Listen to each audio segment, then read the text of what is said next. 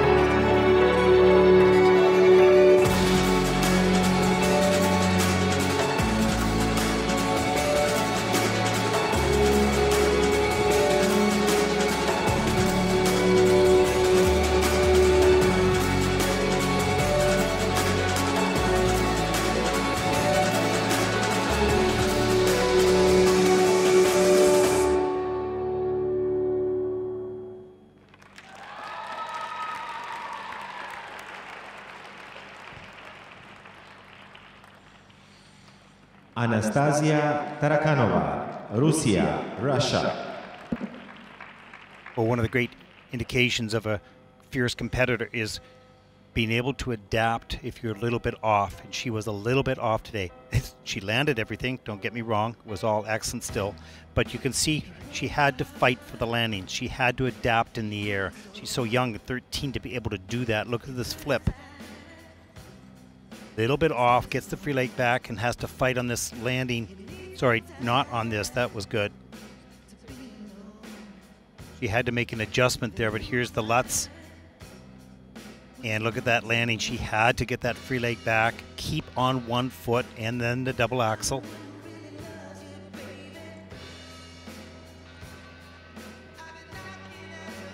But it's a good indication when you're looking for little things like this, like little mistakes. That's how good the skater is because you always expect them to be absolutely perfect. He's so good.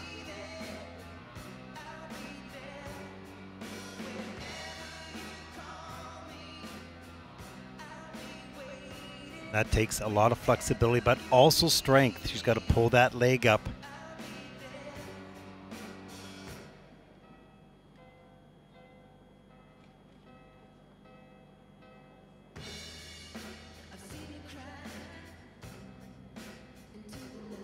Probably was not easy skating first after the warm up.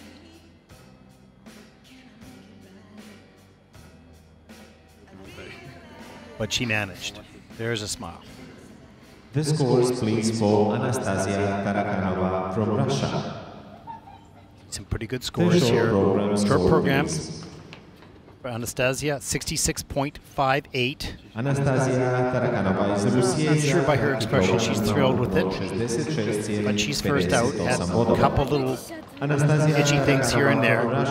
She's currently, obviously, in first. She's first skater out.